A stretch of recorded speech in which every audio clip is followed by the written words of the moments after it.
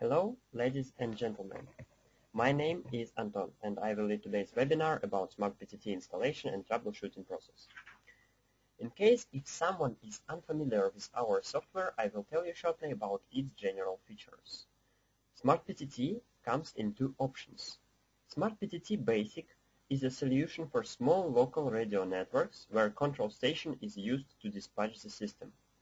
Smart PTT Enterprise allows dispatch and control over complex Motorola MOTOTRBO networks such as IP Site Connect, Capacity Plus, Link Capacity Plus, and Connect Plus.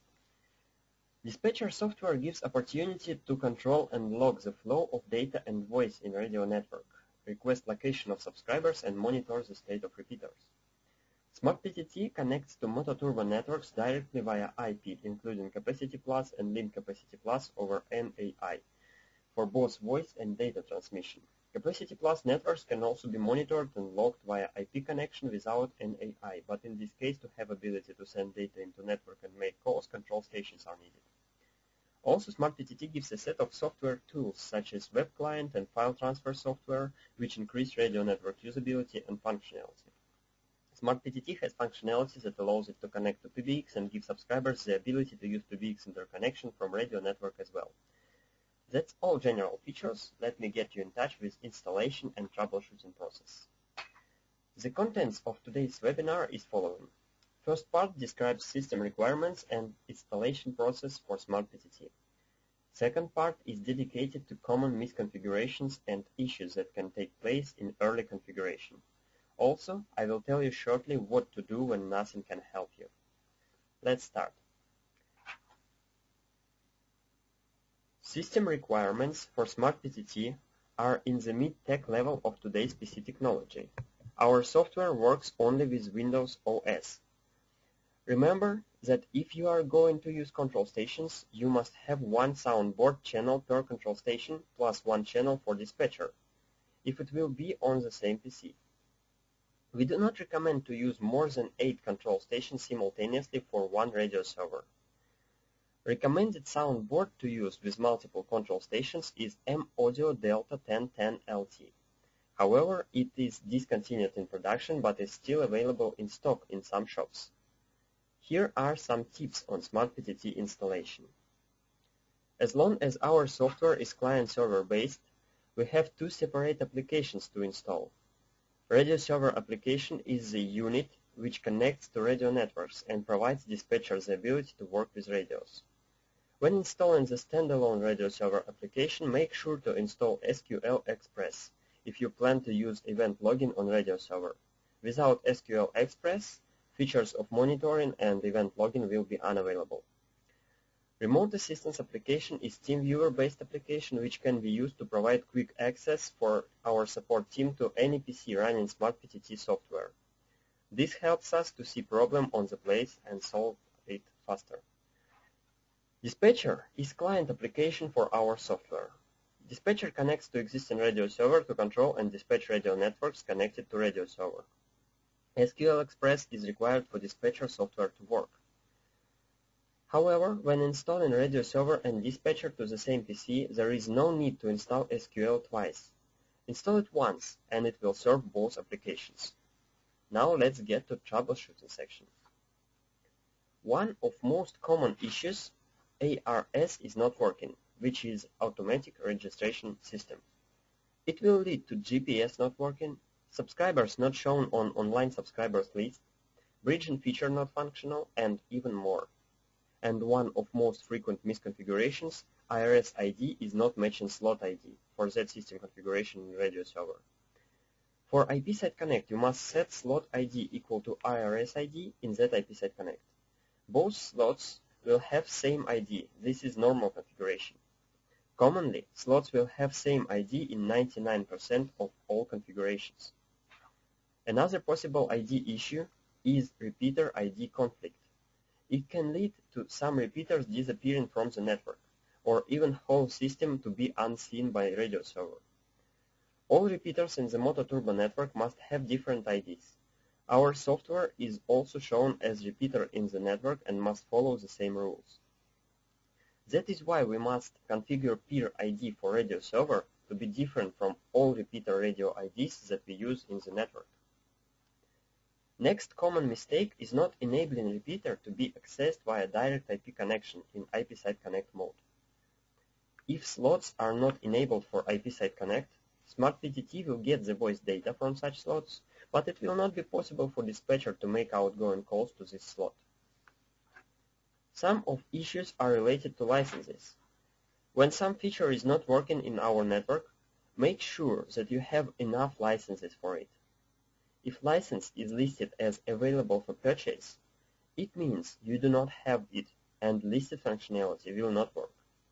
Licenses are required for all topologies and some special features in repeaters, portable radios and mobile radios.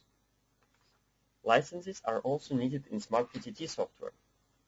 Radio server needs licenses for most advanced features, namely event log, telephone interconnect, monitoring, radio network bridging, SNMP service, web console, NAI voice, NAI data, NAI GPS positioning, dispatcher connection per each dispatcher, and connection to repeaters per each repeater. Dispatcher needs licenses for radio server connection per radio server and radio subscriber registration per subscriber. If some of these licenses are missing, following functionality will not be available. And concluding the list of well-known and widely spread issues is firewall configuration. Firewall can cause lots of problems. From sound not going through from radio network to dispatcher or backwards, to dispatcher not being able to connect to radio server. When configuring the system, make sure that all ports listed in configurations are opened in internal Windows firewall and that both radio server and dispatcher application are allowed to work through the firewall. When it seems to be not so easy to find the issue, sometimes we need to ask the software about what is wrong. For this purpose, we have a log tab, which lists all events happening to radio server. It will write all error reports here and you can figure out what is wrong by yourself or save this log and send to our support team to have a help about this issue. Most of errors that come here will have some verbal explanation among technical data, which can give you an idea of what is wrong. Port is busy, IP address cannot be resolved, database is not accessible. These words can help you to figure out what is wrong with your configuration. When it gets tough and you have no idea what to do next, it's time to request a helping hand from our technical support team. But if you make it right way, it will be faster and easier for both sides to find and fix the issue. First, write the description of issue as full as possible. What you are trying to do, what is happening in the system, what are symptoms, and what are you expecting from the system. Second, send us your configuration files. To do that fast and easy, go to C, Program Files, Smart PTT, Client, or Smart PTT Server and find application called debuginfocollector.exe. Run it and save the resulting file to wherever you like. Later send this file with your request to share all your settings. Third, include a CPS files for your radios and repeaters. Commonly we need a CPS file to make sure that we properly diagnose the issue. Please name the CPS file correspondingly. Master repeater, peer repeater, handheld radio, control station are examples of good names for CPS. Also, provide passwords if your CPS files are password protected. Fourth, if you think your issue can be network related, please provide a network map. List all IP addresses used in your network and write which IP correspond to which device. It will be greatly appreciated and will help us a lot to find and fix the issue. After that, you are clear to go to our support portal. Support Portal is our website related to Smart PTT software and aimed at providing latest and fullest information about everything related. You can use search tool to try finding your issue description here and get some tips and hints on resolving it. Also, Submit a request button will lead you to web form where you can describe the issue, attach some files, and send a request for our support team. Support team is online 9 to 18 o'clock UTC plus 7, Monday to Friday. After request submission, you will get notifications on your email about progress of request. All responses from support team will also be forwarded to your email. You can simply reply to these emails and your answers will be received by support team.